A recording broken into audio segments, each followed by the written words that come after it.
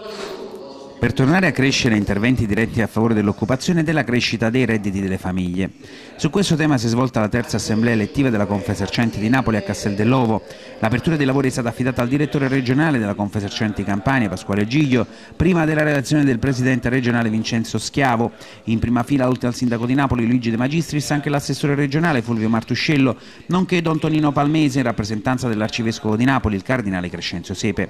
In una sala gremita, gli iscritti alla Confesercenti hanno ascoltato gli interventi completati da un audiovisivo che ha dato voce e spazio ad altri esponenti della categoria.